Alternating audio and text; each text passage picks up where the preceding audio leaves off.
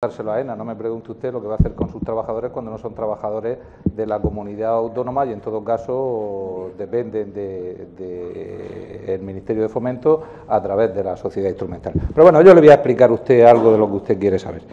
Mire, eh, el aeropuerto de San Javier, que no es un aeropuerto, sino que es una base aérea militar, como usted ha reconocido, eh, nace en los años 30 precisamente eh, con un uso exclusivamente militar.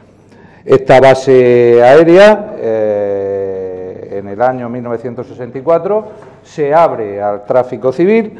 En el año 1965 se autoriza la ampliación de la pista. Eh, las obras se inician en el año 1966 y en el año 1967 se concluyen y se inauguran.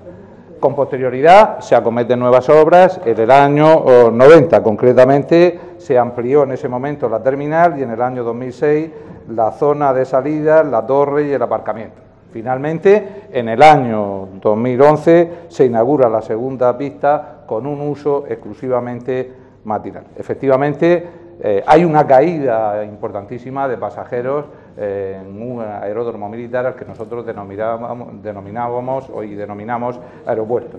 En el año 2007 este aeropuerto tuvo oh, más de 2 millones de pasajeros, en el año 2008 uh, 1.876.255 y en el año 2013 1.140.447.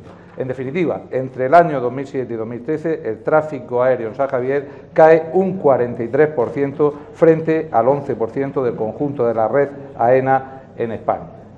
Pero debo insistir, el Real Decreto 1167 del 95 eh, establece que el denominado aeropuerto de San Javier es una base aérea militar, con una pista de 2.300 metros, con una segunda pista que opera como calle de rodadura con siete entradas a pista y eh, una plataforma de estacionamiento para 11 aeronaves. Pero además debe saber usted que en San Javier los vuelos civiles están restringidos. En verano están restringidos de 6.15 a 13 horas, 7 horas, y en invierno de 7.15 a 14 horas, 6 horas. Eh, excepto las líneas regulares debidamente autorizadas, los sábados, festivos, Semana Santa, de 15 de julio al 1 de septiembre y de 22 de diciembre a 9 de enero. En definitiva, eh, estamos ante un aeródromo, no ante un aeropuerto.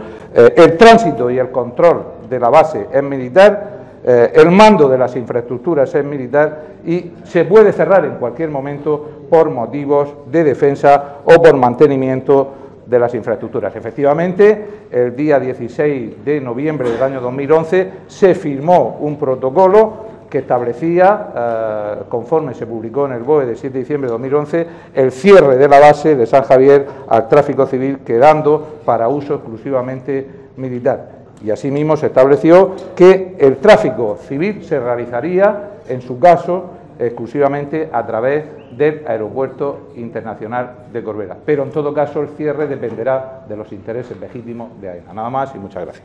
Gracias, señor consejero.